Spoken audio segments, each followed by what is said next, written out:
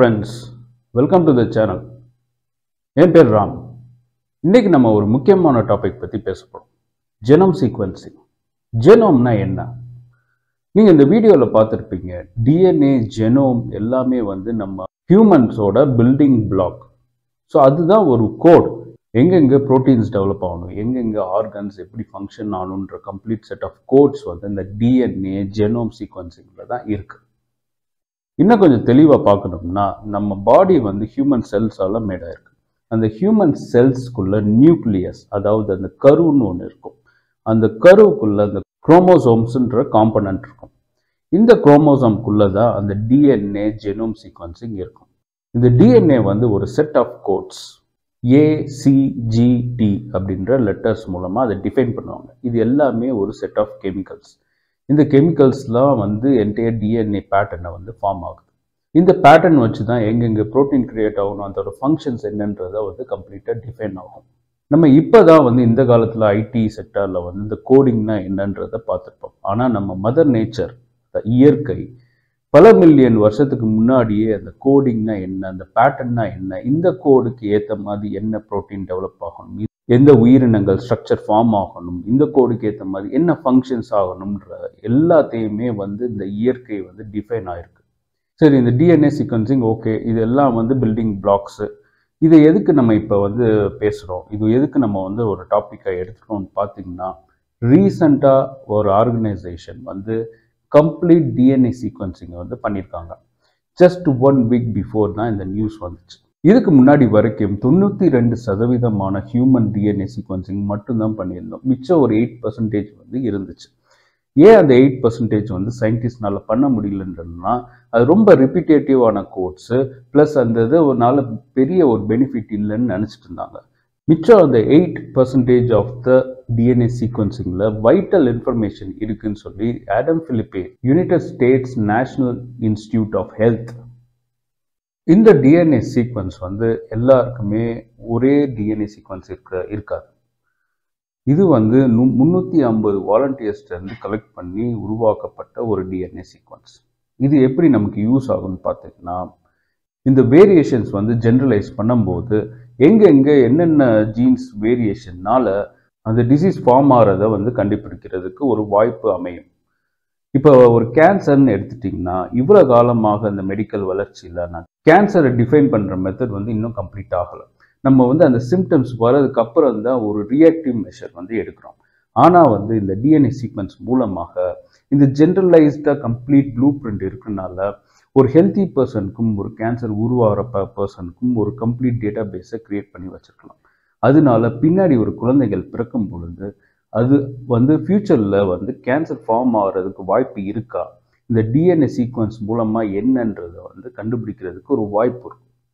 So அதனால வந்து cancer பேஷண்ட்ஸை வந்து முன்னாடியே ஐடென்டிஃபை பண்ணி அது ப்ரிவென்டிவ் மெஷர்ஸை வந்து சீக்கிரமாக எடுக்கலாம். இது மட்டும் கிடையாது. இது இது போல் பல chronic disease like diabetes Alzheimer அது மாதிரி நிறைய டிசீஸை வந்து முன்னாடியே ஐடென்டிஃபை பண்ணும்போது அந்த ப்ரிவென்டிவ் மெஷர்ஸ் எடுத்து மனிதர்களை காப்பாற்றலாம் இந்த டிஎன்ஏ சீக்வன்சிங்னால அடுத்த மேஜர் பெனிஃபிட் என்னன்னு பார்த்தீங்கன்னா எவல்யூஷன் பரிணாம வளர்ச்சி.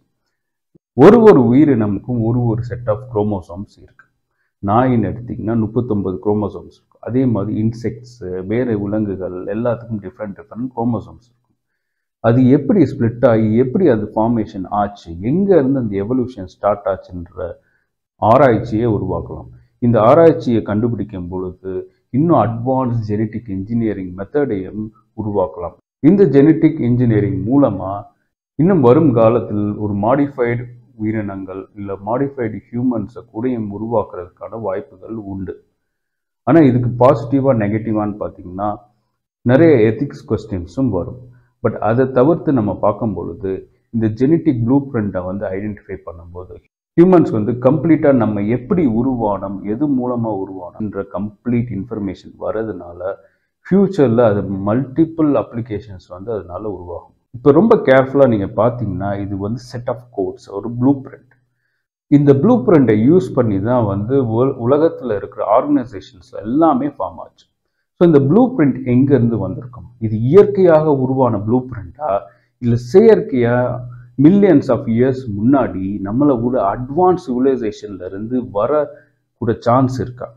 அந்த அட்வான்ஸ் சிவிலைசேஷனில் இருக்கிற உயிரினம் இந்த யூனிவர்ஸில் இருக்கிற வேரிய சோலார் சிஸ்டமில் இருக்கிற பிளானட்ஸை ஆக்குபை பண்ணுறதுக்கு இந்த ப்ளூ பிரிண்ட்டை வந்து அனுப்பியிருக்காங்களான்ற மாதிரி ஒரு வித்தியாசமான கொஸ்டின்ஸ்லாம் நமக்கு வந்து மைண்டில் வர்றதுக்கு சான்ஸ் இருக்குது எப்படி இந்த இயற்கை வந்து ஒரு மாடர்ன் ஹியூமன் மாதிரி ஒரு டிஃபைன்டு கோட்ஸை வந்து ஜென்ரேட் பண்ணுது?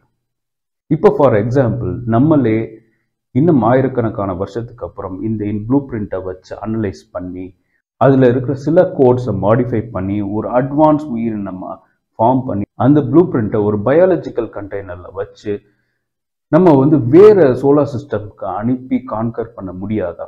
அப்படின்ற சைஃபை கொஸ்டின்ஸ்லாம் நமக்கு மைண்டு வர சான்ஸ் இருக்கு.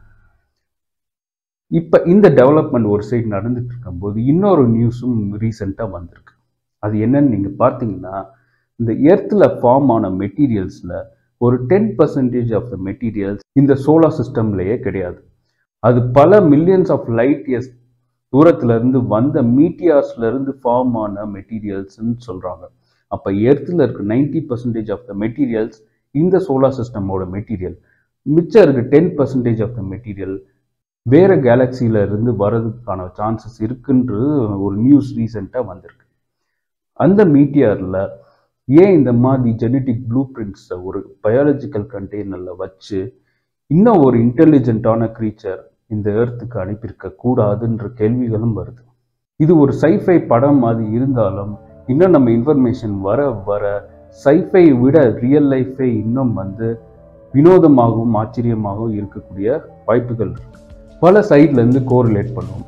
ஹியூமன் ஜினோம் ஒரு சைடு ஸ்பேஸ் ஒரு சைடு பிளானட்ஸ் ஒரு சைடு இதெல்லாம் கனெக்ட் பண்ணும்போது maybe we are not alone இந்த யூனிவர்ஸ்ன்ற ஒரு கொஸ்டின் மார்க் வரும். அதாவது இந்த பிரபஞ்சத்தில் நம்ம மட்டும் தனியாக இல்லை.